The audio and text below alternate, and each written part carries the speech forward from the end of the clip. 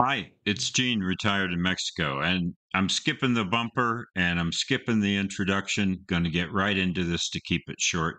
Uh, top 133 artists. If you're watching this, thank you. I love rankings, absolutely love rankings, and that's why I'm doing this. Criteria, it's down below, basically 80 minute playlists. I compare them and rank them, but also do I buy books? Do I read magazines? Do I watch documentaries on these groups?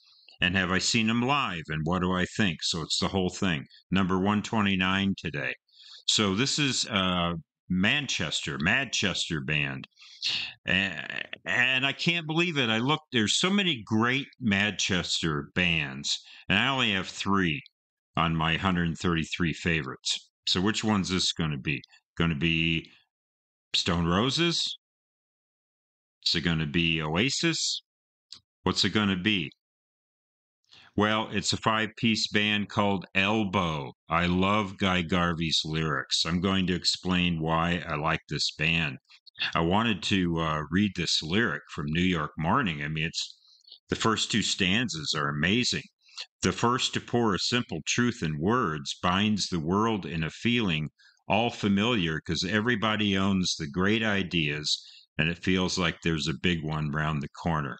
A tenor up and out into New York Somewhere in all that talk is all the answers. And oh, my giddy aunt, New York can talk. It's the modern road to where folk are nice to Yoko. Yeah, I love that. Uh, great band. I have not had the honor to see them in concert, but I do own some of their CDs. So I own uh, a cast of thousands, which includes a uh, bonus CD ROM disc here. So I have that. I have Leaders of the Free World.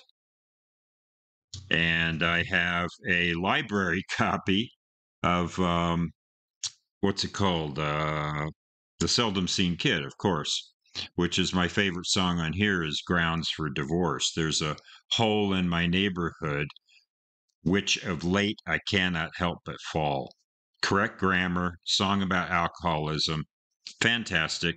These are their second, third, and fourth albums. So uh, you probably already know about Elbow. I'm guessing you're familiar with them, but just really uh, intelligent band. I like good lyrics, good melodicism, and like I say, Guy Garvey, good singer, good lyricist.